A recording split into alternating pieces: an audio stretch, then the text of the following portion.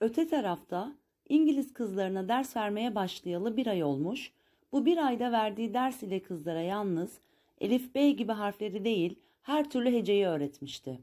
Bunların hangi kelimenin yanına geldiğini, sağda, solda, ortada nasıl yazıldığını anlattıktan sonra Elif, Vav, Y, H harflerinin Türkçe uzatma harfleri olduğunu, çeşitli harekeleri ve bunların görevlerini anlatarak baba, kuzu, küpe, tuti gibi kelimelerin imlasını da göstermeye başlamıştı. Fakat Canan bunlarla kıyas edilmez. Bir ay içinde 4-5 heceden oluşan kelimeleri yazdığı gibi bunları benim, senin, onun, bizim, sizin, onların gibi ifadelerle dahi birleştirebiliyordu. Demek oluyor ki Rakım ders için kendisince bir yol açmıştı. Evet öyleydi. Bir cuma günü Rakım her zaman olduğu gibi Mr. Ziklas'ın evine gidince kime tesadüf etse beğenirsiniz? Felatun Bey'e.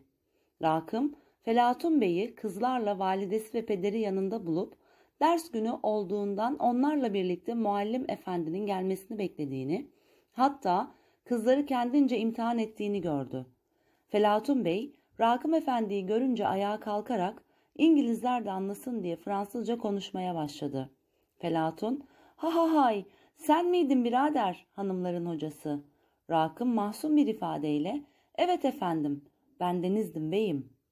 Mr. Ziklas, vay demek oluyor ki tanışıklığınız vardır. Felatun, gayet gururlu kendinden emin, evet kendilerine muhabbetim tamdır. O da beni sever, zannederim.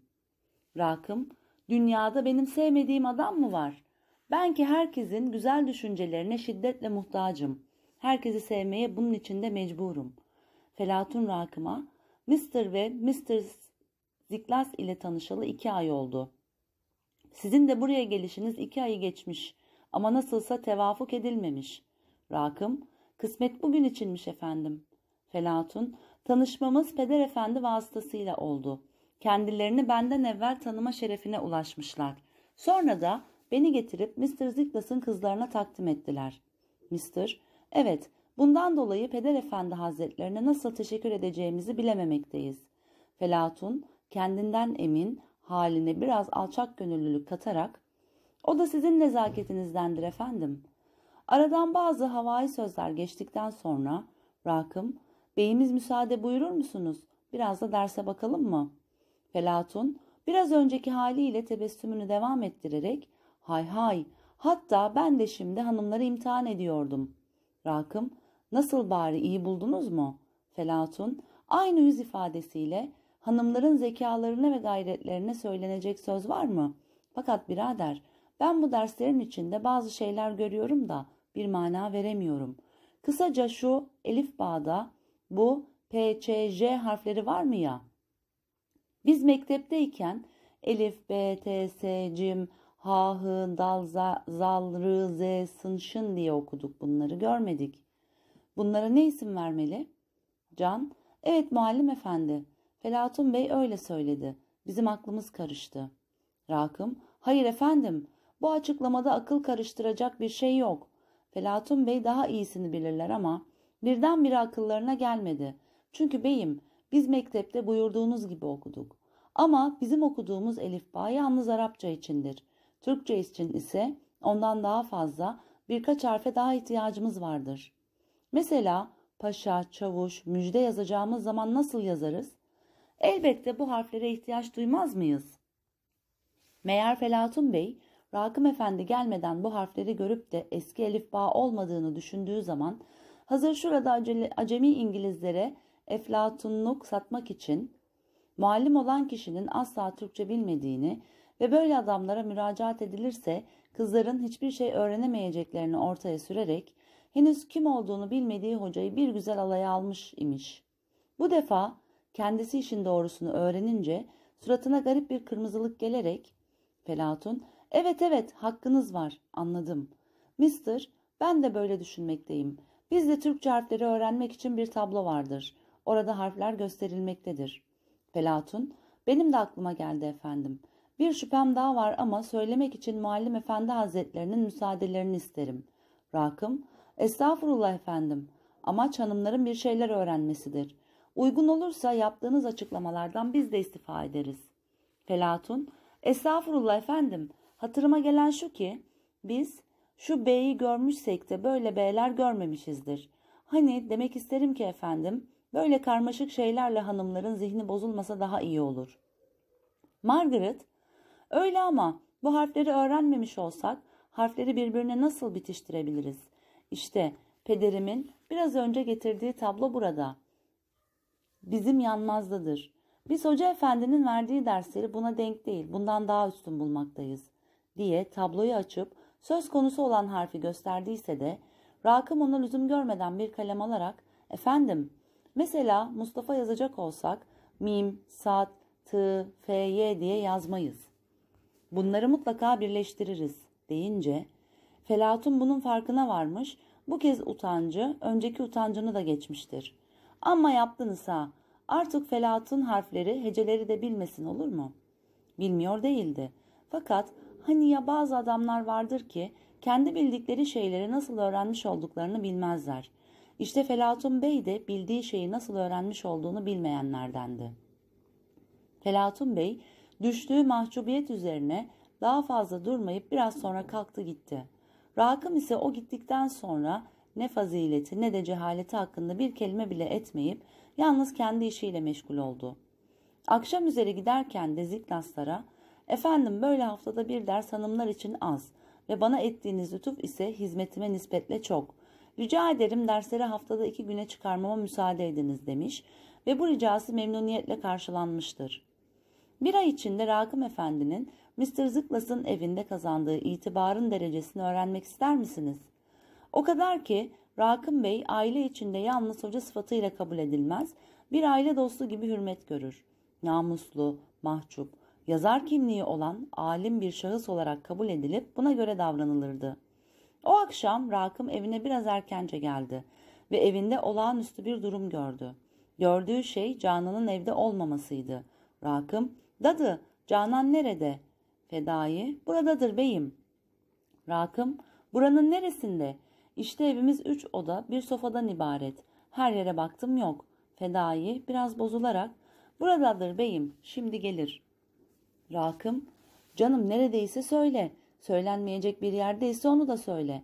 Benden saklı bir işiniz var diye mi inanayım? Fedai, vallahi beyim, biz bu işi senden saklı görmeye karar vermiştik ama hata etmişiz. Rakım telaşla, ne oldu canım? Fedai, bir şey olduğu yok. Komşumuz, beyefendi cariyeler için piyano öğret öğretmek üzere bir madam tutmuş. Biz de heves ettik. Sana söylemiş olsaydık izin vermezdin diye korktuk da. Rakım biraz öfkeyle evet dadıcığım izin vermezdim. Şimdi de iznim yoktur. Canan piyano öğrenmek hevesine düşmüşse hiçbir dileğimi geri çevirmeyen Cenab-ı Hak bu dileğimin kabulü içinde kolaylık gösterir. Sana düşüncelerimi doğrudan doğruya söyleyeyim mi? Sen yanında olmadıktan sonra Canan'ın sokak kapısından dışarı çıkmasına razı değilim. Sen yanında olduktan sonra nereye istersen al götür. Dünyanın hali acayiptir. Sonra kıza verdiğimiz terbiyeyi kabul ettiremezsek yazık etmiş oluruz. Zavallı Rakım bu sözleri öyle bir edayla söyledi ki dadısına anlatmak istediği fikri fedai fazlasıyla anladı. Aradan yarım saat kadar geçtikten sonra Canan geldi. Beyi eve gelmiş bulunca huzuruna çıktı. Ama korkusundan titreyerek çıktı. Yani Rakım sert bir söz söyleyecek olsa kıza bir fenalık geleceğini halinden anlamıştı. Bunun üzerine Rakım gel bakalım Canan gel korkma yavrum. İşte ben dadıma tembih ettim. Bundan sonra nereye gitmek isterseniz dadımla beraber gitmeye izinlisiniz. Fakat dadım olmayınca kapıdan dışarı çıkmana rızam yoktur. Sen piyanoya mı heves ettin kuzum? Ben sana piyano alırım. Ben de buraya senin için öğretmen getirtebilirim. Zavallı kızcağız efendisinin kendisini azarlamadığı gibi piyano alacağını vaat ettiğini işitince sevincinden efendisinin boynuna sarılacağı geldi. Buna teşekkür edecek oldu. Lakin Türkçeyi henüz gereği gibi konuşamadığından söyleyeceği söz ağzında kaldı. Artık bundan sonra Rakım'da bir piyano ile bir de piyano hocası arzusu kendini gösterdi. Her akşam eve gelip de Canan'ın yüzünü görünce hani ya verdiğiniz söze ne oldu der gibi baktığını zannediyor ve üzülüyordu. O ara nakit 25-30 lira verip bir piyano almak uygun değildi. Fakat bu uğurda bir borca girmeyi de göze almıştı. Asıl mesele öğretmen bulabilmek ve ona ayda 4-5 lira ücret vermekti. Rakım için bu güçtü. Bir gün Rakım yine Beyoğlu'nda Matthew Angel isimli bir Fransız dostunun evindeydi. Salonda bulunan 4-5 kadın piyano çalıyorlardı. Bunların birkaçı Matthew'nun eşi, kardeşi gibi akrabasıydı. Rakım'ı herkes sevdiği gibi bu aile de sevmiş, orada bulunuşundan memnun olmuşlardı. Hatta Rakım'ın ricası üzerine esmer güzel bir madam piyano başına geçip o dökülen kumral saç ile hüsnün de var iken gibi birkaç alaturka hava çalmıştı. Orada bulunanlar bu havaların Rakım'ı memnun edeceğini hesap ederlerken tam tersi onun hüzünlendiğini görerek şaşırdılar. O kadar ki sebebini bile sordular. Rakım, adam bende olan çocuklukları bilmez misiniz? diye kendini savunurken orada bulunanlar Rakım'ın bir aşk ateşiyle yandığını ya da başka bir şey olduğunu zannettiklerinden Rakım, hayır efendim hayır, gönlüm gerçekten pek hassastır. Ancak hiçbir şeyle alakalı değildir, hürdür. İşin içinde başka bir iş var. Bir cariyem vardır. Piyano çalmayı merak ederek beyin evine gelen bir öğretmenden diğer cariyelerle beraber ders almaya gitmiş. Henüz acemi, henüz hayata dair bir şey bildiği yok. Hayatı tanımayan bir kızı öyle her yere göndermek bence uygun olmadığından piyano derslerine bu şekilde devam etmesini yasakladım. Kendisine piyano alacağımı da vaat ettim.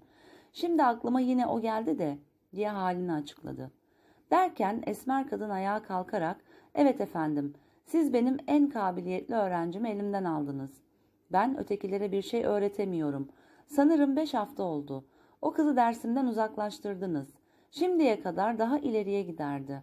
Deyince Rakım bu tesadüfe şaşırarak Rakım demek oluyor ki muallimesi sizdiniz madam. Madam evet efendim o şerefle müşerref idim. Rakım estağfurullah fakat madam yok kızın ahlakı için yasakladıysanız tamam özrünüz kabul edildi. Çünkü arkadaşları pek şeytan şeylerdi.